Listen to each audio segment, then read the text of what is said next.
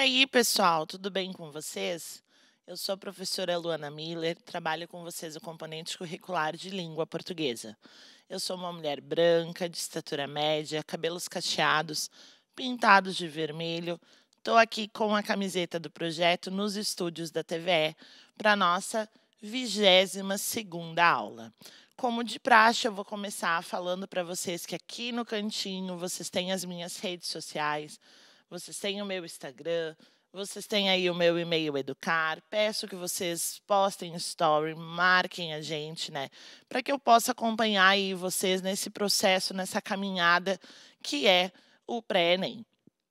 Na nossa 22 segunda aula, o meu título ele é mais uh, uma provocação, né? Eu quero provocar vocês. E o meu título aqui dessa aula está assim: Eu aposto que posso te convencer, né? Poxa vida, o que será que eu vou falar nessa aula, né? Sobre o que será que a gente vai conversar? E daí eu começo também, né, fazendo uma pergunta aí para vocês. É possível fazer o nosso interlocutor comprar a nossa ideia, né? É possível convencer outra pessoa daquilo que a gente quer? Como a gente faz para convencer o outro? Quais estratégias a gente usa para isso? Na aula anterior, eu conversei com vocês um pouquinho sobre a questão da sintaxe da argumentação. E é exatamente aí que a gente vai entrar. É possível sim convencer o outro, e para isso a gente usa uma estratégia linguística que a gente chama de argumentação. E é essa argumentação que a gente vai estudar hoje na nossa aula. Como vocês sabem, eu gosto de começar explicando o nosso conceito, né? O que, que é argumentar? Argumentar é a capacidade de relacionar fatos, teses, estudos, opiniões, problemas e possíveis soluções, a fim de embasar determinado pensamento ou ideia. Argumentar é expressar uma convicção e uma explicação para persuadir e para convencer o interlocutor a modificar o seu comportamento. Então, argumentar é, através de estratégias linguísticas, fazer com que o leitor exatamente compre a nossa ideia, com que a gente consiga convencer o outro daquilo que a gente acredita. E a gente tem várias maneiras de fazer isso, a gente tem várias possibilidades para trabalhar com a argumentação. Opa! Retomando, né? Antes da gente entrar propriamente no que, que é argumentação, eu quero retomar com vocês o conceito de aspecto tipológico ou tipologia textual. Né? O aspecto tipológico de um texto diz respeito ao propósito com o qual esse texto foi escrito. Assim, as diferentes tipologias textuais são narração, dissertação, descrição, informação e injunção. Isso a gente já viu brevemente em aulas anteriores, é que eu trouxe mais para a gente retomar um pouquinho. Por quê? A gente não pode confundir a tipologia textual com aquilo que a gente também já viu em aula anterior, que a gente chama de gênero textual. O gênero textual é um exemplo mais específico de uma modalidade discursiva, que tem dentro dele aspectos tipológicos. Por exemplo, um romance, tá? Um livro, um romance, é um gênero textual. Dentro desse gênero textual, a gente tem a tipologia textual da narração, não necessariamente ela é a única tipologia textual que vai aparecer dentro de um romance. Dentro de um romance, a gente pode ter, por exemplo, uma descrição, a gente pode ter outras tipologias textuais. Mas a tipologia textual que predomina dentro dos romances é a narração. Então, aqui, explicando que tipologia textual é a maneira como eu escrevo. E o gênero textual vai ser o tipo de texto produzido. Por que, que eu trouxe isso? Tá? Porque dentro das nossas tipologias textuais, a gente tem, na tipologia da narrativa, a gente tem a ideia de contar uma história. Na descritiva, a gente vai fazer o processo de descrever né, pessoas, situações, locais. Na dissertativa, a gente vai defender uma ideia e expor uma opinião. Na expositiva, a gente apresenta conceitos. E na injuntiva, a gente ensina ou instrui. Ou seja, aqui dentro a gente tem na dissertativa defender uma ideia, expor uma opinião. E olha o que, que aparece aqui. Através de argumentações. A gente vai se utilizar da tipologia dissertativa né, para produzir as nossas argumentações. Então, aqui, a gente também viu essa questão dos domínios sociais, né, das esferas da vida, Ali, quando a gente falou na nossa aula sobre gêneros textuais, a gente tem dentro dos domínios sociais, quando a gente vai falar sobre discussão de problemas sociais controversos, a gente vai usar o aspecto tipológico da argumentação. E aqui alguns exemplos, como, por exemplo, um texto de opinião, uma carta do, do leitor, o editorial, como exemplos de gêneros que usam, então, essa tipologia textual quando que a gente vai argumentar? Né? Bom, a gente já viu ali que existe uma diferença entre um gênero textual que vai se usar da tipologia textual da, da argumentação, ali da dissertação. Né? Então, a gente tem os gêneros que são argumentativos, que usam tipologias que são argumentativas. Mas a gente precisa saber quando recorrer a essas tipologias argumentativas quando é necessário que eu busque essa tipologia para fundamentar o meu texto. E aqui eu trago alguns exemplos né, de situações onde a gente deve recorrer a essa tipologia. Quando a gente defende um ponto de vista, quando a gente apresenta a nossa opinião, quando a gente propõe uma solução para um problema, porque propor uma solução é dar uma ideia nossa e defender essa nossa ideia, né, fazer com que essa solução seja comprada, como eu coloquei ali né, na nossa pergunta, e também quando eu quero convencer os outros com relação né, a um pedido que eu faço. Né? Vocês são campeões em argumentação. Eu sei que a juventude, a galera aí novinha que está assistindo essa aula, já tentou convencer a mãe e o pai a liberar vocês para irem numa festa, liberar vocês para irem encontrar os amigos, liberar vocês para assistirem filme, série até tarde, para ficar aí no videogame no final de semana. Vocês estão argumentando quando vocês fazem isso, só que vocês fazem isso de maneira natural. Agora a gente vai estudar um pouquinho como fazer isso de uma maneira bem feita. Alguns exemplos de textos escritos que usam aí argumentação, né? artigos de opinião, ensaios, teses, textos de opinião, editorial, carta, manifesto, textos publicitários e dissertações. E eu trago para vocês o que, que vai ser um texto que a gente chama de dissertativo argumentativo.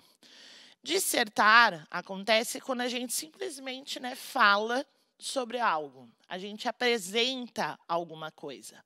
Agora, quando eu falo em dissertar de forma argumentativa, eu estou falando que eu estou marcando a minha opinião né, sobre um determinado assunto. Eu estou me posicionando sobre um assunto.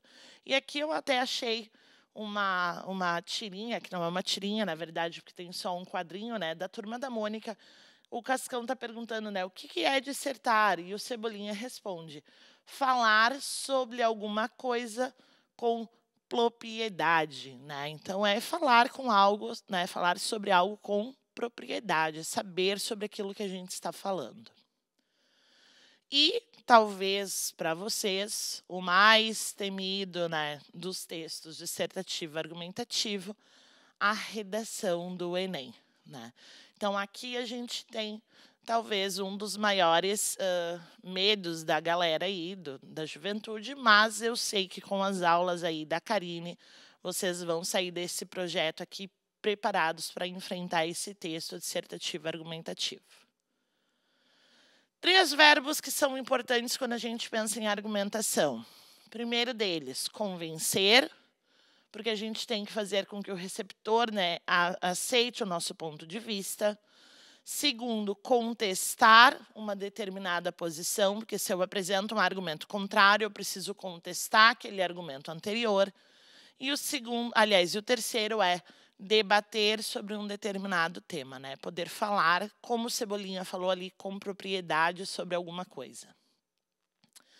Como é que se organiza um texto argumentativo? A gente tem geralmente, né? Lembrando que não existe uma fórmula perfeita para que as coisas aconteçam, tá?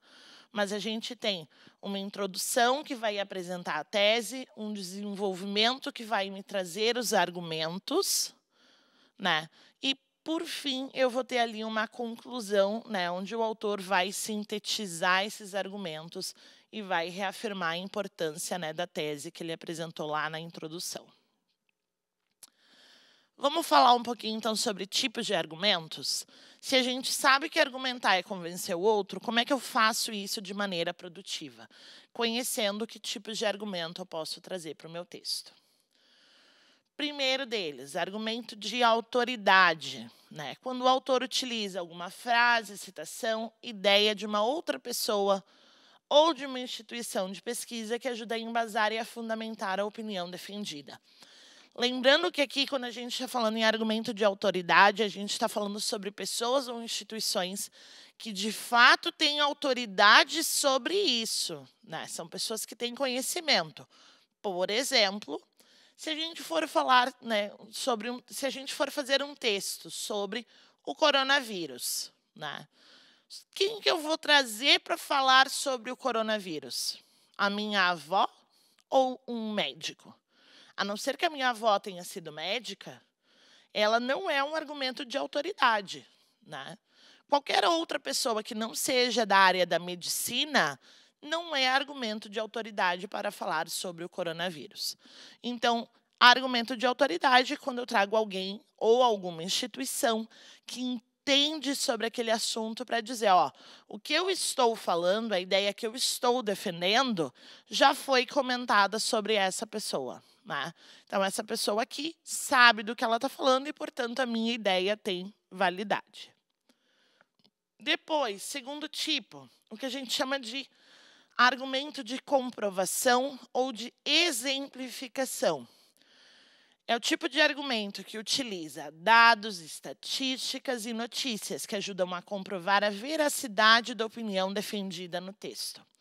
Então, ele vai acontecer quando eu trago uh, exemplos né, reais que vão fazer com que a minha ideia ela seja de fato né, positivada. As pessoas ali entendem que o que eu estou falando é verdade porque aquilo já aconteceu. Eu comprovo aquilo através de exemplos. Como, por exemplo, se a gente for fazer um texto sobre a truculência das ações policiais, né? Quando a gente está falando sobre ações policiais que agem de maneira muito, né, rude, a gente pode trazer aí como exemplo o assassinato do George Floyd, né? Que é um caso que a gente tem aí verídico, aonde a ação da polícia a, né, acarretou, ocasionou a morte de uma pessoa negra. Né? Então, a gente pode usar aí este exemplo para fundamentar a nossa opinião, para trazer aí um argumento sólido para o nosso texto. Também a gente tem argumento aquele que a gente chama de raciocínio lógico. É quando o autor do texto encontra um ponto lógico que deixa óbvio e claro o porquê de defender aquele ponto de vista. Então, é quando a gente trabalha com as relações lógicas da linguagem. Eu trago isso aqui sob a ótica da língua portuguesa, mas a gente poderia fazer aí uma interlocução com a filosofia, que tem todo um estudo sobre o raciocínio lógico, sobre a lógica também na linguagem. Olhem aqui estes dois exemplos, né? Eu fui buscar um lá da filosofia que nos diz, a gente tem a primeira proposição, todo homem é mortal. A segunda proposição é Sócrates é homem. Por raciocínio lógico, Sócrates é mortal. Né? Então, isso aqui é quando a gente traz esses argumentos que são irrefutáveis, porque eles trabalham com a lógica. Ou, segundo ali, né, trazendo um exemplo mais textual, se a demanda aumentar, então a empresa se expande. Primeira proposição. A nossa segunda, se as empresas se expandem, então elas empregam trabalhadores. Por raciocínio lógico, a gente tem: se a demanda aumentar, as empresas empregam trabalhadores. Tá? A gente tem aí as deduções lógicas. Eu trago duas proposições e uma terceira faz né, com que a gente tenha essa dedução. E um outro exemplo aqui, que eu achei nessa imagem, que eu achei muito legal também, é sempre que chove, fico resfriado. Primeira dedução, né? primeira proposição. Segunda, hoje choveu, logo ficarei resfriado. Né? Então, aqui a gente tem de novo essa sequência lógica. E quando eu trago esse, esse, essa terceira proposição aqui, ela pode muito bem funcionar como um argumento aí de raciocínio lógico. Depois, argumento indutivo. Né? É aquilo que a gente conclui so, uh, quando algo vai dar certo depois de fazer aquilo várias vezes e perceber que deu certo em todas elas. Eu usei aqui a analogia do andar de bicicleta, né? porque ninguém nasceu sabendo andar de bicicleta. Mas a gente anda uma vez e funciona, anda duas vezes e funciona. Lá pela décima vez, vocês vão dizer: Eu sei andar de bicicleta. Né? Então, o raciocínio, uh, o argumento indutivo é mais ou menos isso. Vocês fazem aquilo tantas vezes que aquilo passa a se tornar uma verdade. Como é que isso funciona aí nos nossos textos argumentativos? Por exemplo, Fala-se muito, a gente está chegando aí num ano de Copa, né? No final do ano a gente vai ter a Copa aí no Catar.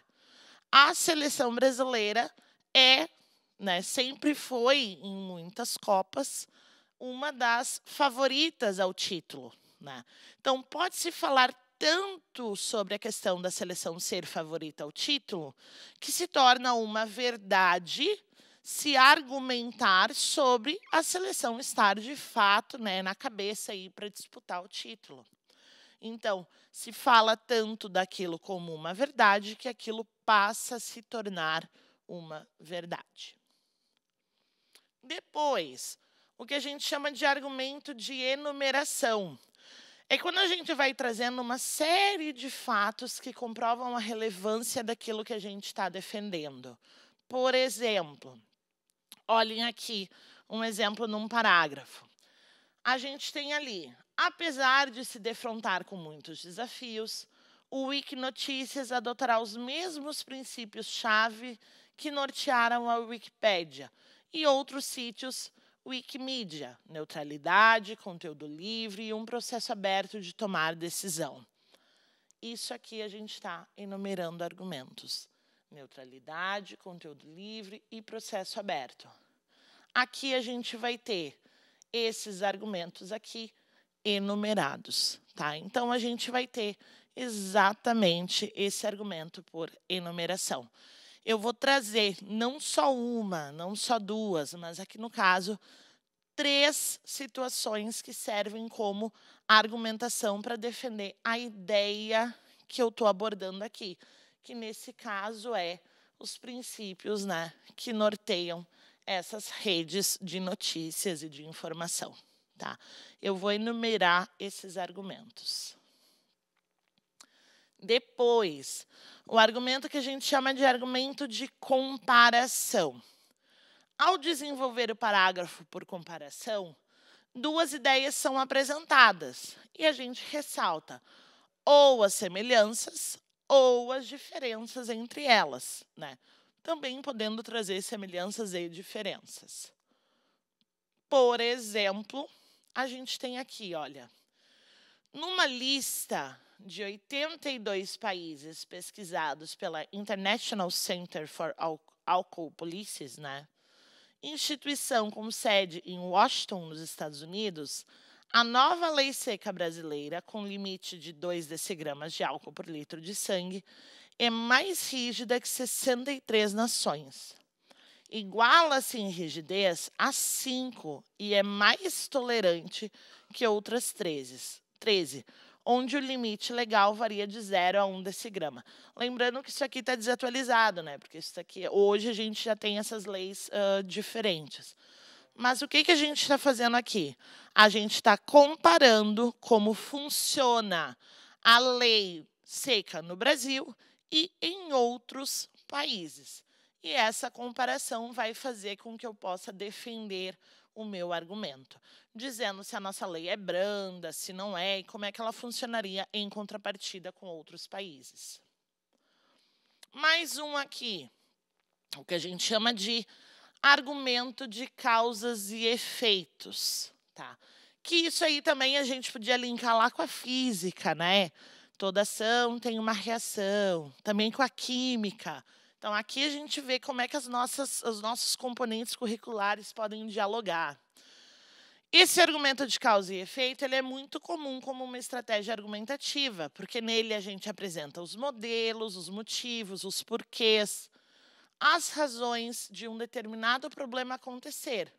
E, em seguida, as consequências, os resultados e os desdobramentos né, que isso tem. Eu trouxe um exemplo bem simples que todo mundo já ouviu falar, que é o quê? Lixo no rio, né? A gente vamos falar aí sobre problemas sociais com relação à habitação.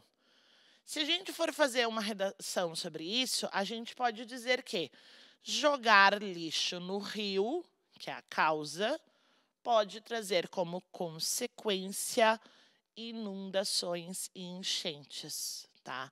Então aqui a gente tem causa e consequência. Mais um tipo, argumento de evolução histórica, tá?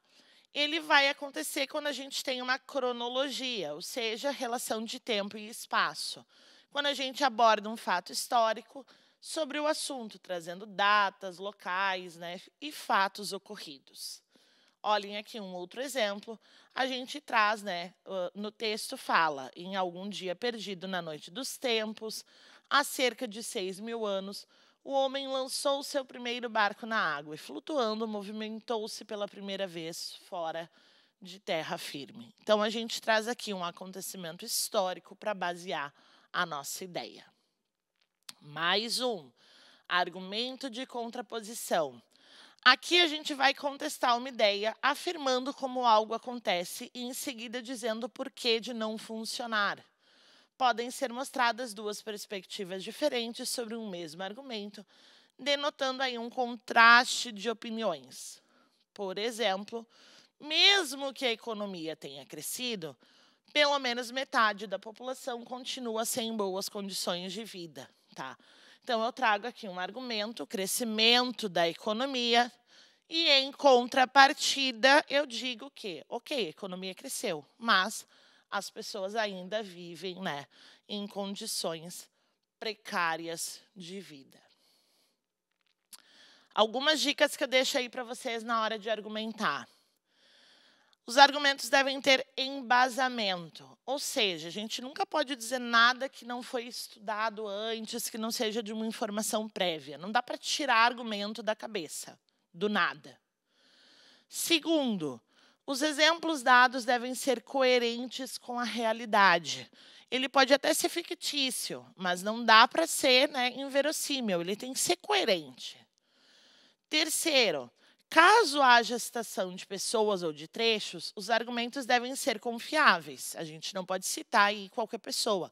Como eu falei antes ali da, da minha avó para falar sobre coronavírus. Né? Não dá. Eu preciso trazer pessoas que tenham de fato conhecimento sobre isso. As experiências que a gente traz para comprovar os argumentos também têm que ser coerentes com a realidade. Se eu vou falar sobre coronavírus, eu tenho que trazer experiências que sejam científicas e médicas. Eu não posso trazer uma experiência artística, a não ser que eu esteja querendo falar, por exemplo, sobre o bem-estar com relação à, pandemia. Aí, ok. Agora, se eu estou querendo falar sobre aspectos médicos, eu não posso falar de outra maneira que não seja trazendo experiências médicas e científicas. E a gente também tem que sempre imaginar os questionamentos, as dúvidas e os pensamentos contrários do leitor quanto à nossa argumentação, para que, a partir deles, a gente possa construir melhores argumentos fundamentados em mais estudo e pesquisa. E daí eu vou retomar a nossa pergunta inicial. Né? É possível a gente fazer com que o nosso interlocutor compre a nossa ideia? E a nossa resposta é sim, usando boas estratégias de argumentação. Pessoal, eu sei que é muita coisa, né? Numa aula pequena. A gente poderia fazer aí duas, três aulas sobre argumentação. E provavelmente mais adiante a gente vai retomar essa nossa aula 22 para falar um pouquinho mais sobre ela. Eu espero que vocês tenham aí feito as anotações, né, guardado as informações. Qualquer coisa, assiste de novo a aula e na próxima aula a gente vai falar de uma coisa muito interessante. E vocês vão né, estar comigo aí nessa caminhada. Eu espero vocês e partiu passar.